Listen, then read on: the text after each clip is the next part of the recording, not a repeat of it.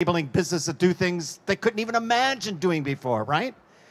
But even though 5G accounts for almost two thirds of mobile connections across North America, many businesses are shy about jumping in with both feet with 5G. I, I understand that. You know, it's always wise to be cautious when, uh, you know, bringing in new technology.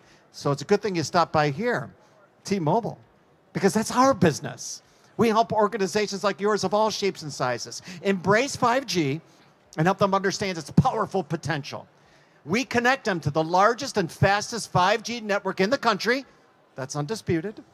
But more important for today's discussion, we help businesses figure out which 5G tools they need to succeed, like AI, IT, uh, IoT, cloud driven tech, a lot more. And we show them how those tools can help solve their specific business challenges, your specific challenges, and your success.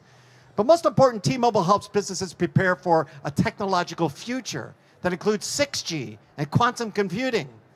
Yeah, I know what you're thinking. You're thinking quantum computing, 6G. Oh, that is awesome. That's awesome.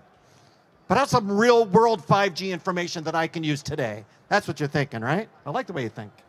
So that's why we assembled that crack team of 5G industry experts to share their informed thoughts and experiences on a wide range of topics, including 5G nomadic private networks, 5G standalone networks, so much more.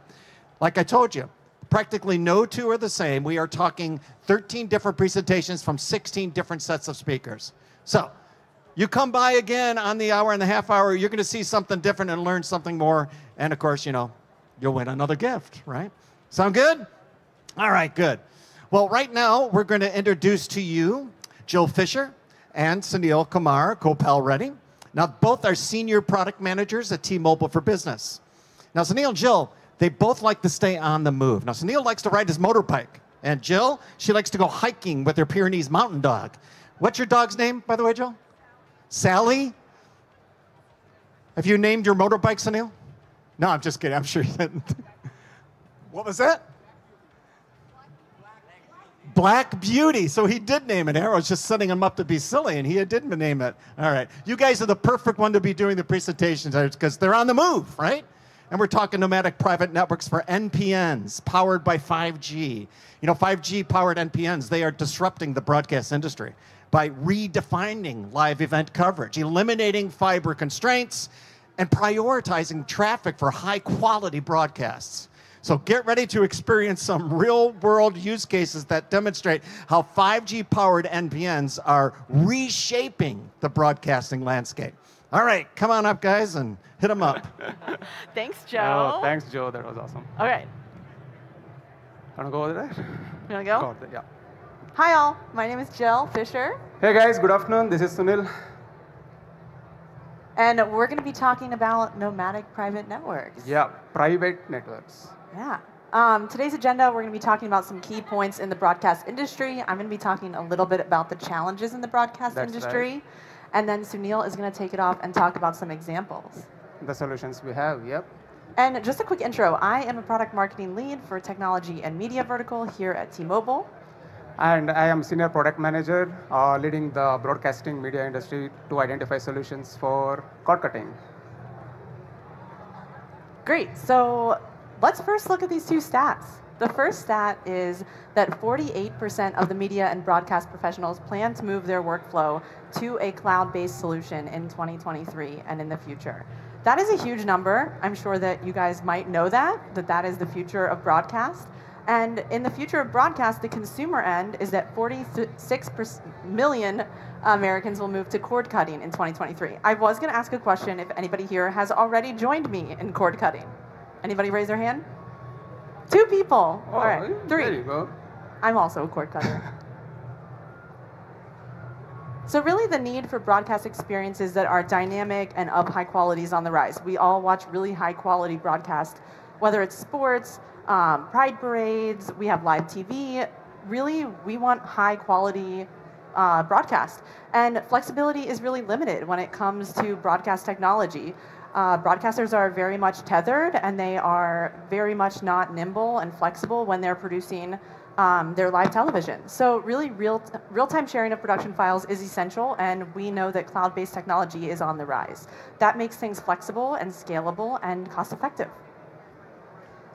So some challenges. Um, I have three here, but there are many. These are three key ones that we really see. One is bandwidth. Um, just with the shift to digital platforms, really ensuring that broadcasters have ensured transmission speed when they are going through that live tech, uh, live processing. And then production costs. So production, producing high quality content can really be expensive. We know that that eats up budgets. Um, as well as infrastructure. So just building and maintaining the necessary telecommunications infrastructure, it can be really costly. So where does that leave us for the future? And that is where Sunil's going to talk. Yep, uh, let's talk about this. So all the problems which uh, Jill mentioned here adds to this. So live broadcasting, what do we need for live broadcasting? We need good bandwidth, we need good latency, and we need to be cost effective. How do we do that? We know like uh, in the current system, what we, if we want to do all these things, the amount of fiber being laid for any event, the amount of uh, expenses we end up adding is huge. And if COVID situation taught us anything, we know it's not scalable in uh, real time, right? So how do we do that? We do that by going wireless. Uh, let's be clear, right? We can only bend physics so much. More you do, you'll break physics, which we cannot do, obviously. So with wireless, there are some compromises, but for a human eye, what we need, we can get to that point. And how do we do that is our 5G private networks. 5G private networks will help you in live broadcasting whereby like you reduce cost. How do you reduce cost? Is by reducing the actual crew you want on the site, uh, reduce the fiber optics which you need, and that takes you to uh, next broadcasting level. Virtual production. So virtual production is something interesting, right? So you set up your uh, equipment somewhere, and how do you do that? You don't have to send your crew. And if you see the camera over there, that's controlled remotely. The operator is just standing there to make sure the connection is there for this event, but the camera control like zoom in, tilt, everything is done remotely through our 5G network. That's a Sony PTZ camera which helps us to do that. Remote production. So with the online streaming, everything, there's so much we do and uh, all that again, the capacity, the bandwidth we get, uh, the latency, low latency we get, all that helps to get to this production, remote production seamlessly. So how do we make that happen? How do we enable this? How do we activate this? That's through our private 5G network. So we bring core network access everything to you guys, to your events, and we manage that service end to end so that you can do whatever you want to solve your use cases in that media space, right?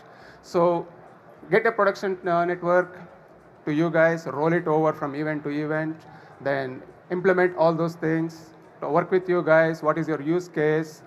Good thing about this private network is it's not shared by the broader macro or broader public. So the advantage we have here is like, you know, we can customize the network to meet your business needs. And then along with that, with multiple cameras in the event, we can also set prioritization for those cameras so that you know, hey, there is a camera here and this camera needs higher priority, but there is another camera like a fan camera and that can be on low priority. We can do all that customization on private networks. That's the beauty, that's the scalability, that's the flexibility we get on that. Uh, here it shows a depiction of uh, uh, live events, say like uh, indoor stadium or like football stadium, all those things here. So what else? So going away from live network, coming to production, so we can set up like uh, on on-prem uh, MEC servers. We can have our private network, network connected to that, and we have the production cameras and you know like uh, VR, uh, HMD devices connected. All these, you know, like all data hoggers, and the bandwidth we have with 5G uh, private networks, millimeter, wave, all those solves that. So all right. Jill? Yeah. So there is a demo that Sunil will go be standing over. Um, yep. But really, this is just a start of the conversation of how broadcasters can help um, just untether and become flexible in their production. And we know that that is a huge need for all of you. So thank you for joining us. And if you want to come check out more, we'll be over there at the live demo. Yeah. Let's send it over to Joe. All right. Thank you very much. Round of applause for these two. What a nice job. You guys can come on down. It's like a fashion show. Oh, I get one of those. Yeah. All right.